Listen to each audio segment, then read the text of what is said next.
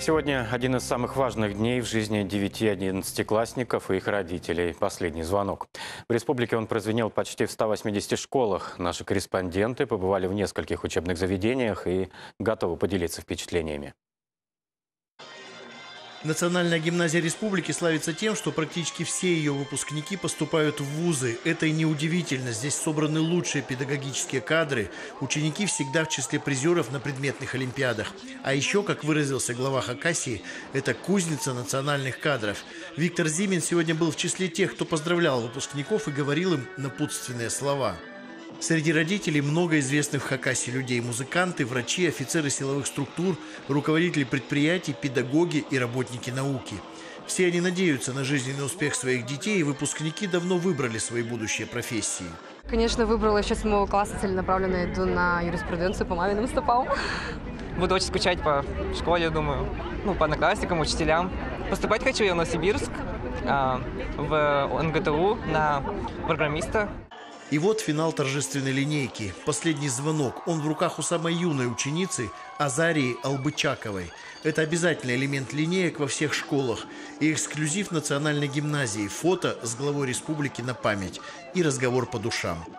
Будем встречаться в Москве, в Питере, в Абакане. Правда.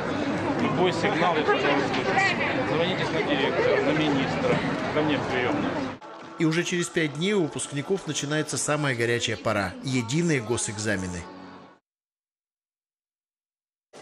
Выпускники Абаканской гимназии в родные стены пришли задолго до начала линейки, чтобы отрепетировать торжественные речи, просто пообщаться и продефилировать по школьным коридорам в белых бантах и на крахмаленных фарточках. Как в этом наряде себя ощущаете? Ой, мне очень нравится. Нравится. Очень а нравится, в школе да. в таком ходили когда-то за эти 11 Нет, в школе никогда в таком не ходили. Просто в обычном платье. А фарточек это что-то такое очень новое и зато очень красивое. Есть ощущение того, что сегодня действительно, ну, можно сказать, финальный день в школе. Скажем так, в это верится, но этого не чувствуется. Я долго этот день ждала, и вот наконец-то он настал.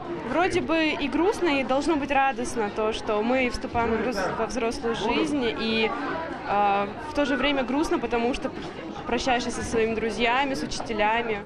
Праздник последнего звонка остается в памяти каждого на многие годы, поэтому школы стремятся сделать его незабываемым. В стенах гимназии сегодня звучали песни под гитару, стихи, многие, кстати, собственного сочинения самих ребят.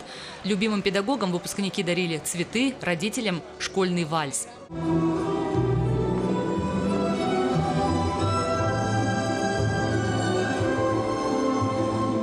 Завершился этот красивый танец уже под слезы, слезы радости и грусти. Девчонки их не скрывали, украдкой поправляли макияж, юноши же стойко держались, вероятно, пока просто не осознавали всей значимости этого дня.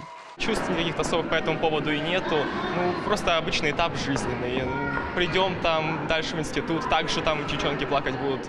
В финале праздника выпускники городских школ выпустили в небо воздушные шары как символы уходящего детства и начала новой взрослой жизни.